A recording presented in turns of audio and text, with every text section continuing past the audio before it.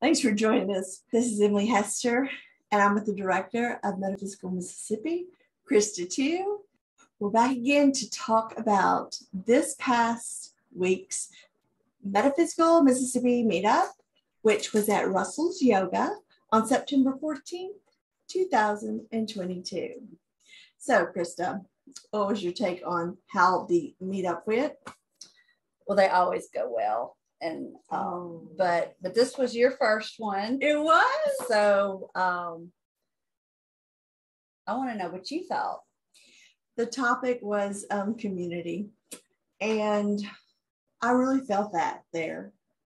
Um, I, I really felt it was a very welcoming space. You felt really included, and that's um, And that's what I, I love about this group. When you have a group of people that are there, um, truly just loving other people and listening. Uh, people who will stop and really give someone their full attention when that person is sharing their story or Oh, or yeah. trying to ex- explore thoughts feelings new concepts And- uh, of course, um, Shane and um, Russell were so welcoming. Mhm.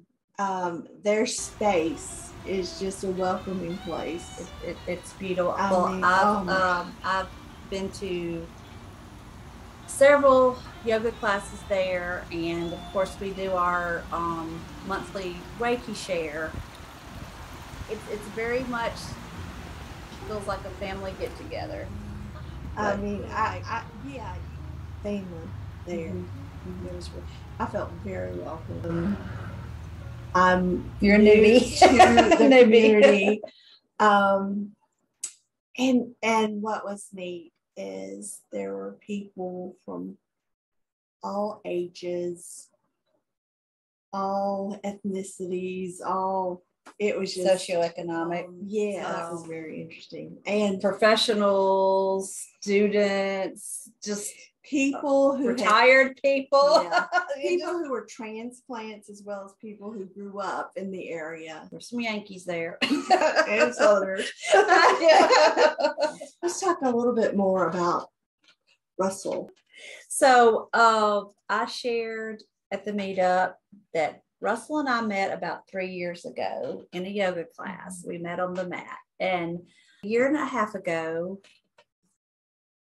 Russell and I did Reiki training together. And that's when our relationship really began to, to grow. Um, he completed his Reiki master and his yoga training. In the spring of this year, Russell and I began hosting community Reiki shares together. And I have watched him grow in his Reiki and yoga practice over the past couple of years. And to be able to sit with him last night in the meetup and hear him share his story to a room of people, some people he knew, some people he didn't.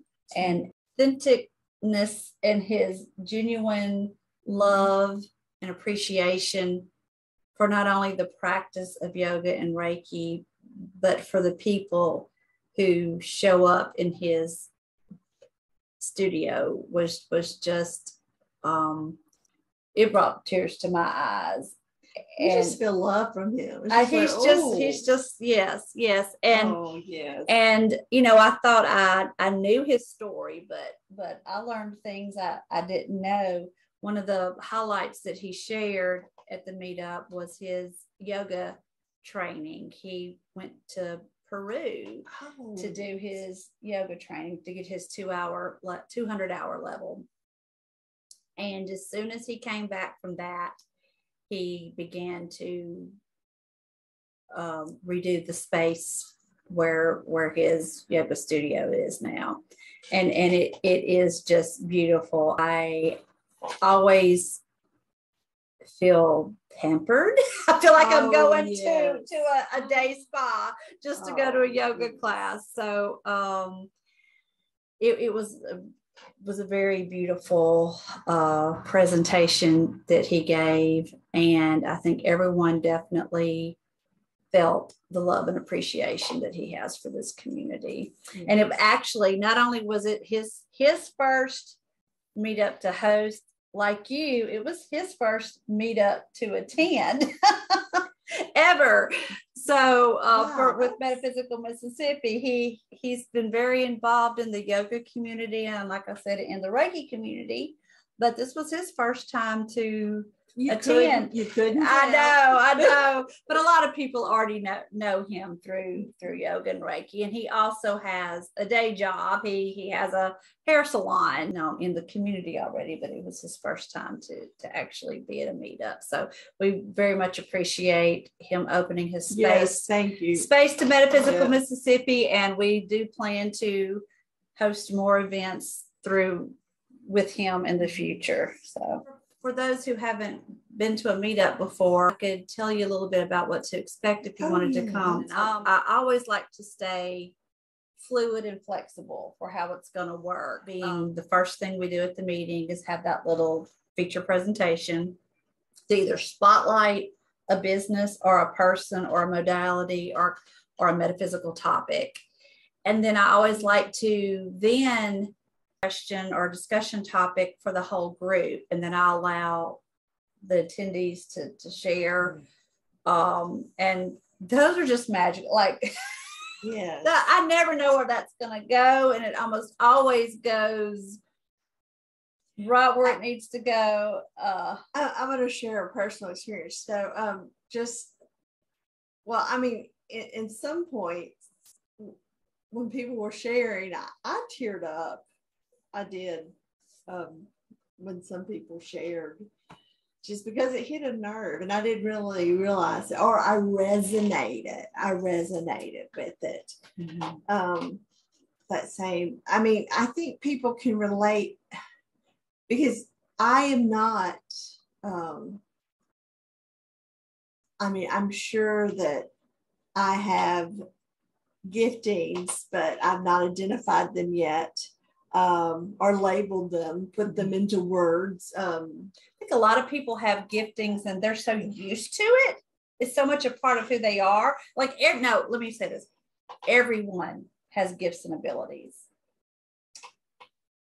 And, and for some of us, we're kind of used to them. And then for some people, they have quieted them, they've, they've squelched yeah. them because it's just like looking over in your past, like what what's your quirk or, or that you thought was a quirk or you know just uh, just your outlook and view may be a little different than the next person. Or a lot of people, as a child, they think whatever it is they're experiencing, whether it's their family dynamic or their own inner dialogue, is normal. Right. Until they go to school or they hit middle school and realize, oh my gosh, no, uh, not everybody else and then sees things in the dark and everybody else hears voices. Oh right. no that's weird. I'm not supposed to do that and they just shut it off. Right. You learn not to share. Yes. Yeah hush mm-hmm. hush. That was shared that i i mean i guess i just didn't, didn't really think about it because i'm not in this community. I'm, I'm putting my big toe in there right now but, um, but um, things are still done behind closed doors. It's still sort of like, um, what was it when the prohibition? I mean, well, we're in the deep south, so um, still fresh on, on yeah. In but some places, culture. you know, you don't air that. That you don't let any that you secretly yeah, you don't go public. You don't share with other people. If you need to go and speak to someone who has a gifting, you know, that client is hush hush and they don't share with other people that they're going to seek a gifted person mm-hmm. to help them through things. And, mm-hmm. I mean, to me in this day and age, I'm like, that seems kind of silly to me because I don't think in the younger generation it may it may not be as hush hush. Yeah. yeah. And that's what's kind of exciting when I was there. Um, seeing a, a younger generation mm-hmm. of people there. They were just not really soaking it up, but I was amazed that they they're looking to you or the or the or the the generation above the older people. yeah, the old people. in in how how y'all live your life and um, with the giftings and navigate in normal society, you know, without normal society. yeah, I mean, you know. Yeah. No, I I have so much respect. I personally, and I have and I have daughters who are in this age group in the late teens, in their from late teens to almost 30, that little that age group, whatever gener- generation. I don't know what mm-hmm. generation they're, but I can't yeah. keep up with them. I think that's two different uh, groups there, but uh, maybe three. But um,